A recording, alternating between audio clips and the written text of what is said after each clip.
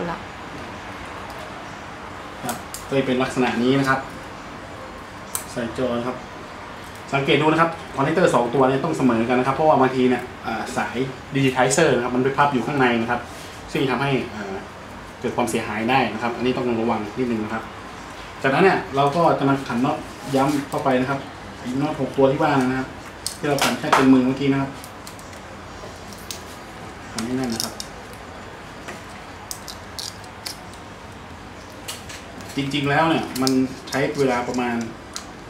ไม่ได้เกิน 25 นาทีนะครับ ในการเปลี่ยนจอหนึ่งอันนยนะครับ จากนั้นนะครับเราก็ จะทำการประกอบกับที่เดิมนะครับ เริ่มจากไวเบเตอร์นะครับที่เราย้ายมานะครับ หลังจากนี้นี่เราเสร็จภารกิจกับตัวไวเบเตอร์แล้วนะครับ เราก็เอากลับไปใส่ที่เดิมนะครับ เริ่มจาก motherboard นะครับ ใส่กลับคืนเข้าไปนะครับ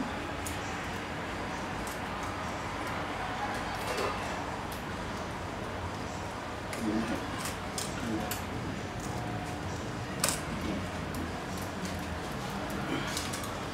องระวัง connector ตัวที่สามนะครับ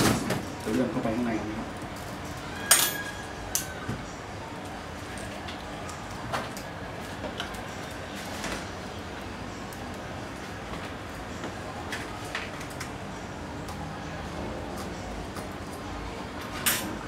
นี่ครับ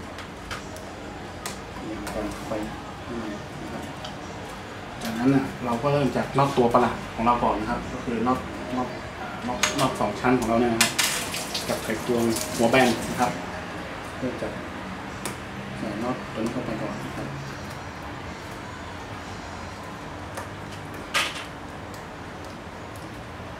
จับแค่พออยู่นะครับ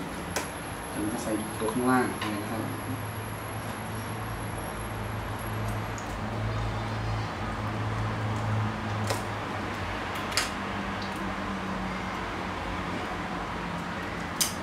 อย่าง นะครับ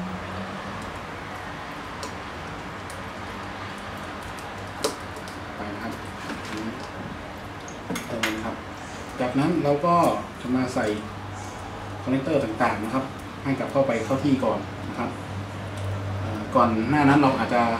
ใส่น็อตตรงกล้องไปก่อนนะครับ เพราะว่าเดี๋ยวจะใส่กล้องตามเข้าไปนะครับ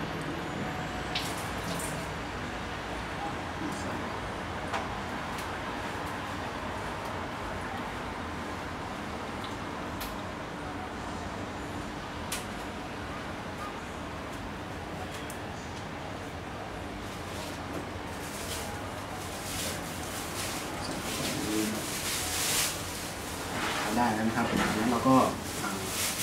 เก็บคอนเนคเตอร์ของเราต่างๆนะครับซึ่งประกอบด้วยทั้งหมดอยู่สามตัวในส่วนข้างล่างนะครับ ก็จัดระเบียบให้ดีหน่อยนะครับเริ่มจากตัวล่างสุดนะครับ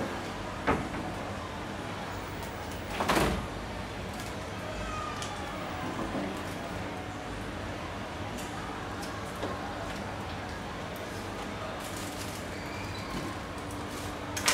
นี่นะครับนี่นะครับแล้วก็มี ตัวนี้อีกหนึ่งตัวนะครับนี่ครับแล้วนี่ก็เป็นในส่วนของ LCD นะครับลงไปนะครับส่วนของ Digitizer นะครับลงไปนะครับแล้วก็ในส่วนของ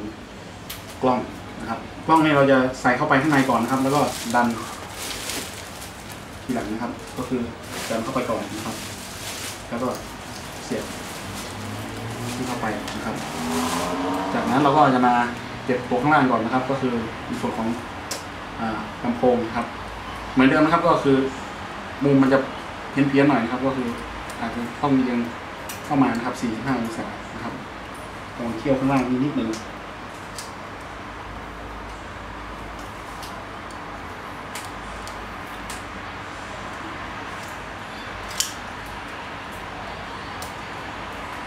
นี่ครับไป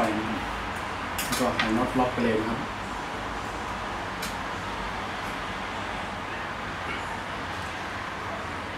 ตอนนี้เราไม่ได้ไปยุ่งอะไรกับมันแล้วนะครับก็ใส่เข้าไปน็อตตัวนี้ก็ขันเข้าไปนะครับแล้วก็ใส่เนี่ยตัวนี้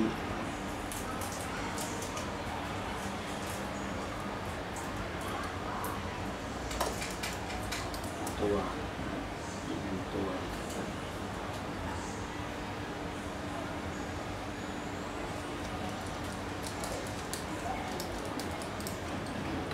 นี้นะครับ